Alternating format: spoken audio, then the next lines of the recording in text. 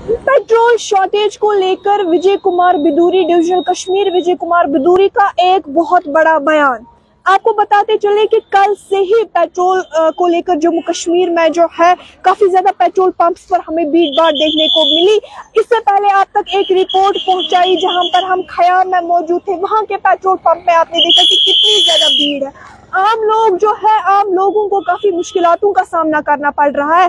अब इस सब में डिविजनल कमिश्नर विजय कुमार बदूरी का एक बहुत बड़ा बयान, जिसमें उन्होंने कहा है कि पेट्रोल शॉर्टेज को लेकर उन्होंने कहा है कि लोगों को जो है फ़िक्र करने की कोई ज़रूरत नहीं है। हमारे पास जो है, हमारे पास स्टॉक अवेलेबल है। फिर चाहे वो केरोसिन का स्टॉक हो, फिर चाहे वो पेट्रोल का स्टॉक हो, या एलपीजी का स्टॉक हो। विजय कुमार बिदूरी ने कहा है कि लोग जो है वो फ़िक्र ना करें।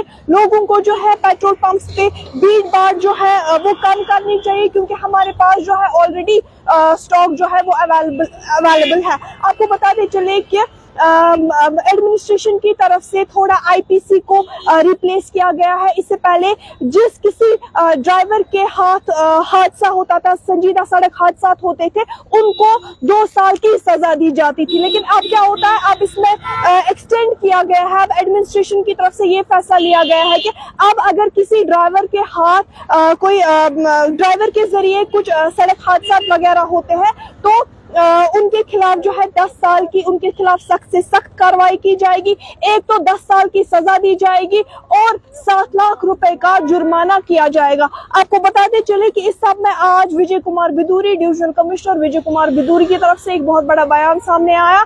उन्होंने कहा है कि लोगों को जो है फ़िक्र करने की कोई ज़रूरत नहीं है। हमारे पास जो है पेट्रोल हो, केरोसिन हो, एलपीजी हो, हमारे पास स्टॉक अवेलेबल है और लोगों को जो है पेट्रोल पंप्स पर भी भीड़ कर भीड़ लगा लगाने की कोई ज़रूरत नहीं है, लोग बेफिक्र रहे।